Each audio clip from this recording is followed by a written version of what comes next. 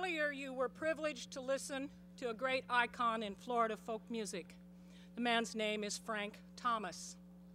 His beautiful wife, Ann Thomas, was interested in literary efforts in the state of Florida, but she was also a fabulous, fabulous songwriter. When I first was introduced to Florida folk music, I heard Ann sing this next song. And I went to her in tears and I said, Ann, please, may I sing your song? And she said, Well, I wish you would. So this is for you, Ann.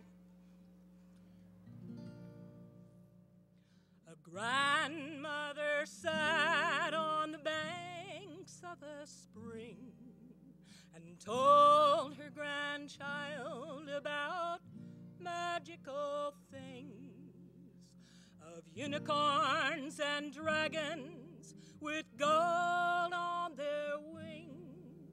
in the old days of kings and queens. The child watched the clouds and saw pictures up there of elephants and princesses with long flowing hair, and unicorns, and once a pair of dancing bears,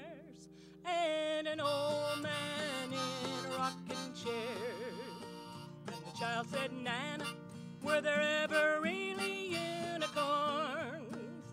Really, could they dance? Could they sing?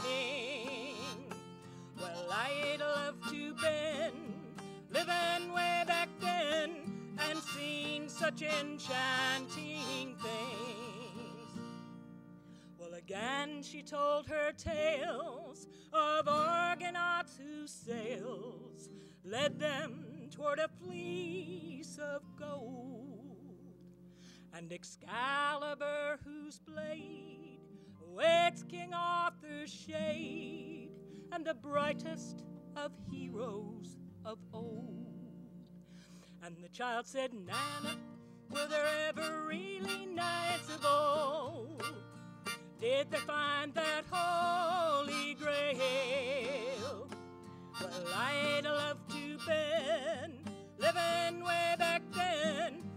seen them in their shining mail. Well, now times have come and passed, and that spring at long last hosts that little girl and her own grandchild. She tells of days of bygone sirens, gentle, meek, and mild. And the child cries, Nana, were there ever really manatee? Really, did they swim in our spring?